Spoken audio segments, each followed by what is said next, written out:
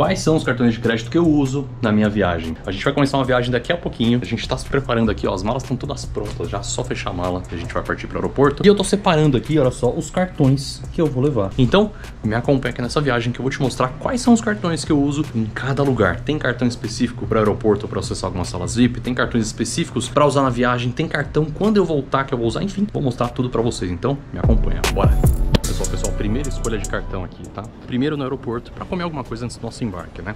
E aqui existem três grandes empresas, né? Três grandes grupos ali que te oferecem acesso às salas VIP.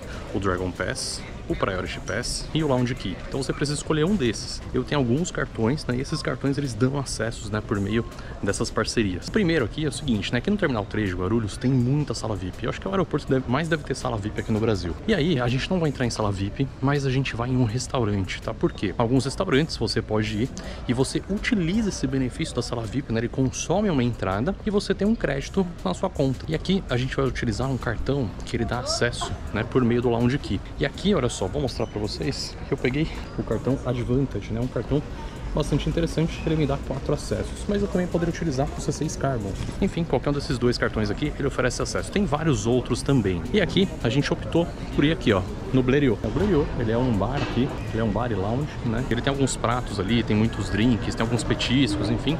E é bem bacana, né? Como a gente costuma viajar em feriado, enfim, tá? Então pra gente que a gente tá vendo aqui, o aeroporto tá vazio, pelo que a gente tá acostumado a ver. Eu não costumo viajar muito durante a semana tal. Hoje é um sábado pela manhã, daqui a uma semana é o carnaval, então ele tá bem tranquilo aqui. O Blériot, ele não tem fila, né? Então a gente veio pra cá, almoçou, uma maravilha. Então, um desses dois, primeiro cartão que eu utilizo nas viagens. Mas vale lembrar que essa escolha vai depender bastante do tipo de acesso à sala VIP que você vai querer. Então, poxa, para restaurante vai ser um tipo de cartão. Se você quiser acessar uma sala VIP específica, tem que entender qual é o parceiro dessa sala VIP. É Lounge Key? É Priority Pass?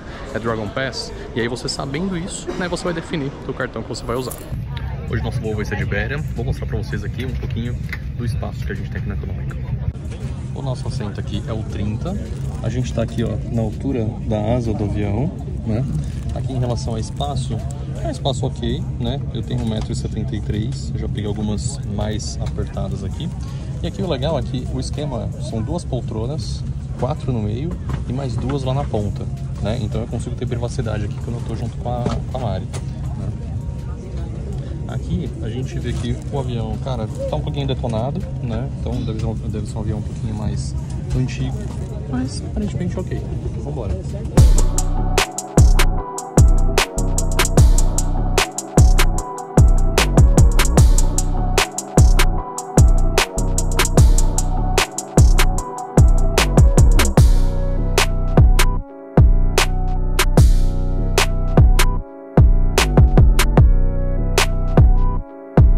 Chegamos aqui na nossa primeira parada. A gente tá aqui no aeroporto de Madrid, só vai fazer uma conexão. Só que a gente tem uma escala um pouquinho longa, né? Uma escala de mais ou menos umas 4, 5 horas. Então, aqui a gente entra no segundo cartão que eu vou usar nessa viagem. Vou procurar uma sala VIP pra gente ficar aqui, pra gente comer alguma coisa, pra gente descansar um pouco, né? O voo foi um pouco longo, então, poxa, a gente precisa descansar um pouquinho. Então, para isso, eu vi aqui no aplicativo do Lounge Buddy, né? Um aplicativo bacana que eu gosto de usar também, para conseguir consultar quais são as salas VIP que tem, né? No aeroporto. E aí, eu vi que tem uma sala VIP aqui no terminal que a gente que vai sair o nosso voo, né? Que é esse terminal que eu tô aqui agora. E aí a gente consegue acessar essa sala por meio do Lounge Key. E o Lounge Key, eu tenho um cartão chamado Advantage, que é o mesmo que eu utilizei lá no Brasil. E aí, esse cartão, né, é ele que vai me dar acesso a essa sala VIP. Vamos lá agora, vamos conferir. Bora. Chegamos aqui na nossa primeira parada. A gente tá aqui em Madrid. É uma conexão que a gente vai fazer. A gente vai pegar um outro voo, só que é uma conexão um pouco longa, né? Então a gente já passou aqui, fez todo o trâmite já da imigração, enfim, tal, foi tudo bem tranquilo, nem perguntaram nada pra gente, foi bem tranquilo entrar aqui. E enfim, agora a gente parou aqui numa sala VIP, vamos ficar aqui, comer alguma coisa. Uma sala bem bonitinha, bem bacana, tá vazia, né? acho que pelo horário, é madrugada aqui, agora são 5 horas da manhã.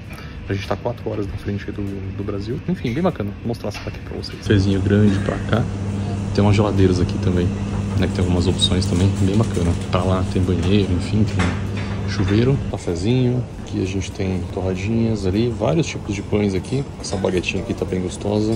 Tem aqui suco. Pra cá tem alguns frios também. Aqui tem fruta. Tem muito vinho aqui também, bastante opção. Champanhe aqui, os destilados. Tem as bebidas, né?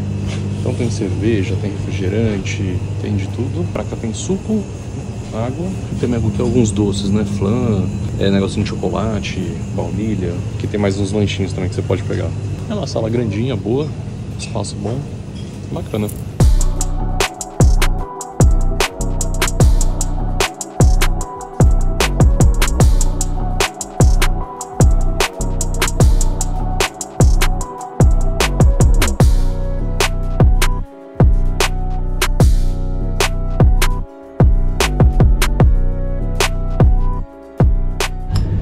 Chegamos aqui no nosso destino final. A gente vai ficar aqui em Bruxelas nos próximos dias.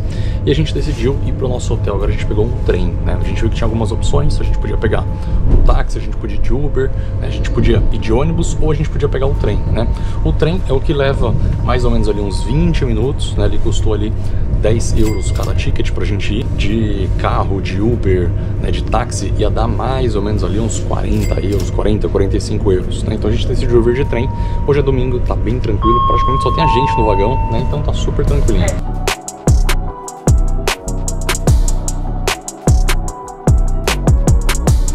Pessoal, pessoal, vamos conhecer o quarto aqui. Aqui na entrada já tem um banheiro, espelhinho por aqui. As nossas malas estão todas aqui e esse aqui é o quarto, né?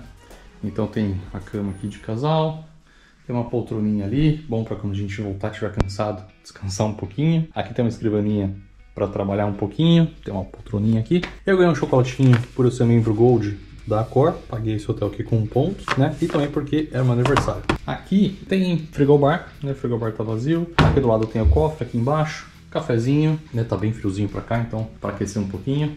A gente tá numa região bem central aqui, bem gostosa. E pra cá tem um banheiro, né? O chuveiro, na verdade. Aqui, olha só, tem a banheira, né? Aqui tem todos os amenities e tal, e aqui tem o chuveiro. Né? Esse aqui é um novo hotel que a gente pegou. Fica do ladinho da estação central. A gente chegou aqui, a gente andou nem 10 minutos, a gente já chegou aqui. E aqui, pra vocês terem uma ideia, tem um Ibis ali do outro lado da rua também. Gostei, bacana, vamos passar os próximos dias aqui. Uma coisa que não pode faltar por aqui, o que, que é? Chocolate. Hum, uma delícia. E durante a viagem, né? O que, que é mais interessante para a gente utilizar? Eu normalmente utilizo as contas globais, tá? E aqui eu utilizo duas principais, né? Que eu gosto bastante. Uma é a Nomad, outra é a Wise, tá?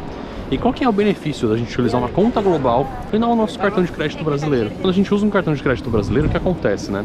A gente paga ali um IOF que é alto, né? IOF é imposto, não tem que fazer. A gente tá falando de um IOF ali de 4,38%, mais o valor do dólar, né? Turismo, que é um dólar caro, né? E nesse dólar turismo, o que acontece? Cada banco cobra o quanto ele quer por ele, né? O Banco Central vai lá, ele define um valor do dólar fechado, só que cada banco tem livre arbítrio ali para colocar né, um spread ali para colocar o ganho de quanto ele quiser. Então isso aqui acaba saindo caro, né? Pode ser até 7% mais caro esse dólar, dependendo do banco que você usa. Inclusive, eu vou gravar um vídeo, vai ser um dos próximos vídeos aqui no canal, mostrando qual é o melhor cartão para você. Poxa, se você não tem outra opção, se você precisa gastar um cartão brasileiro fora do país, qual é o melhor banco para você fazer isso, né? Vai ter um vídeo aqui no canal sobre isso. E aí, galera, por que, é interessante a gente utilizar um cartão de conta global? Né? Primeiro, pela segurança. Poxa, como é que funcionava no passado?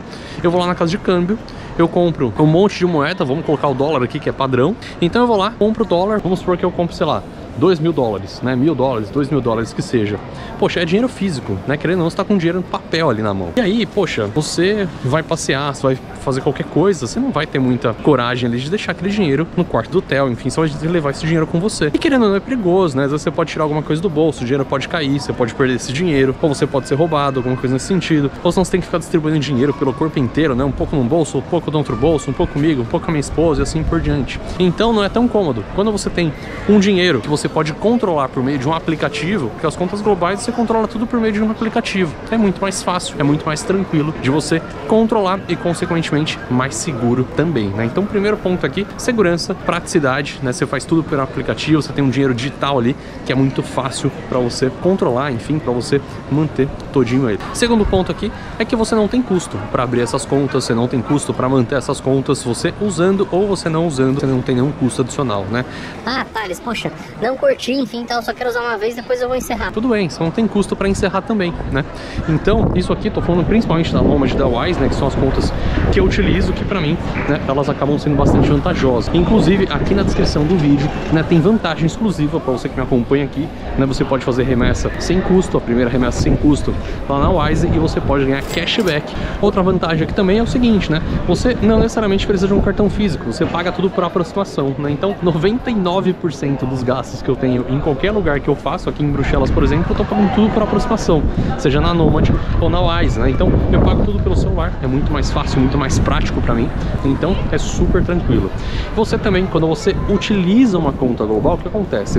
Elas se enquadram ali num tipo de empresa que quando você vai comprar moeda, né? Eu vou falar do dólar aqui principalmente, você compra um dólar que é o dólar comercial, é o dólar que as empresas usam para fazer transações entre elas, né? Então é um dólar que ele é mais barato do que o dólar turismo, que é o que a gente paga na nossa fatura de cartão de crédito. Então você pega um dólar mais barato e além disso, lembra que eu falei quando você usa um cartão brasileiro, você paga um IOF ali de 4.38%? Nas contas globais, esse IOF é de 1.1%. E se você utilizar essas contas como investimento, você pode pagar até 0.38, tá muito mais barato. Então pode ser muito mais vantajoso. Pode não, é muito mais vantajoso do que você utilizar um cartão brasileiro, por exemplo. E agora eu vou falar de características individuais aqui, né, falando da Nomad e também da Wise. Quando a gente fala da Nomad, né, quais são as principais características aqui, tá? A Nomad ela aceita em mais de 180 países, né? Você só carrega uma moeda lá que é o dólar, né? Toda a conversão ela é feita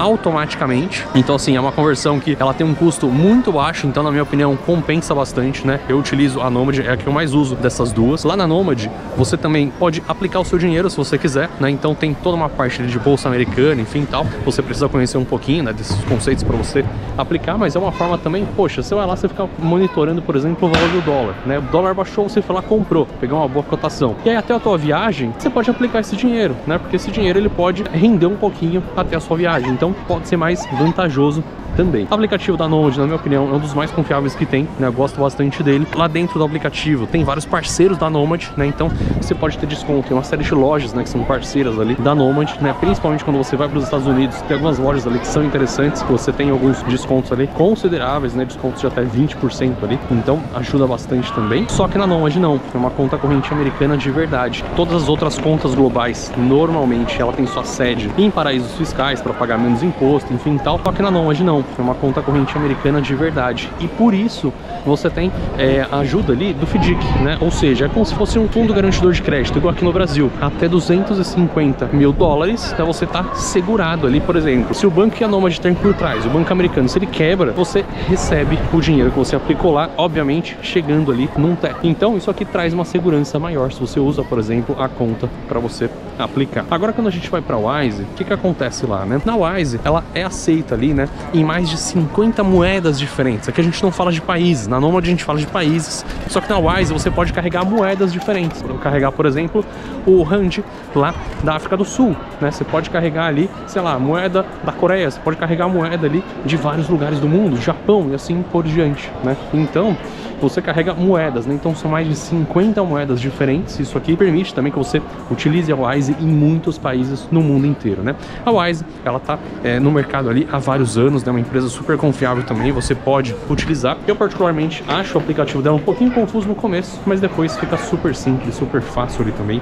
de você utilizar, né? E a Wise, ela acaba tendo menores taxas de câmbio, né? Porque a Wise, ela não é um banco, ela é como se fosse uma corretora. Então ela fica olhando valores de moeda ali em vários lugares lugares diferentes. Você pode comprar essa moeda, né, já convertida direto na moeda que você quer. Né? Então, a melhor forma aqui para você realmente utilizar fora do país é você utilizar contas globais. Né? Então, nas minhas viagens, eu uso sempre Nomad e Wise. Né?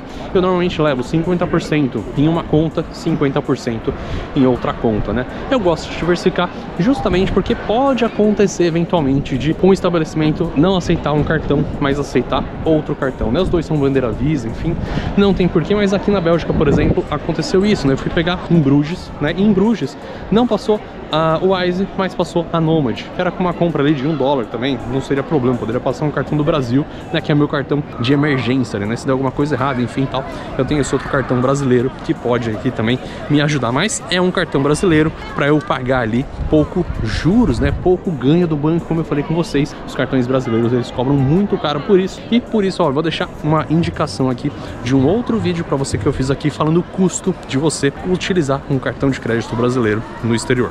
Então é isso. Nesse vídeo aqui eu mostrei para vocês todos os cartões que eu utilizo numa viagem desde que eu saio do Brasil, né? Separando esses cartões ali, olhando todos os aeroportos que eu vou passar, quais são os cartões principais ali para utilizar, quais que eu utilizo na minha viagem e na volta agora vai ser o mesmo processo da vinda. Então, poxa, quais são os aeroportos que eu vou passar, quais são as salas VIP que tem lá, quais são os cartões que me liberam essas salas VIP. Eu já fiz essa escolha previamente para trazer para essa viagem.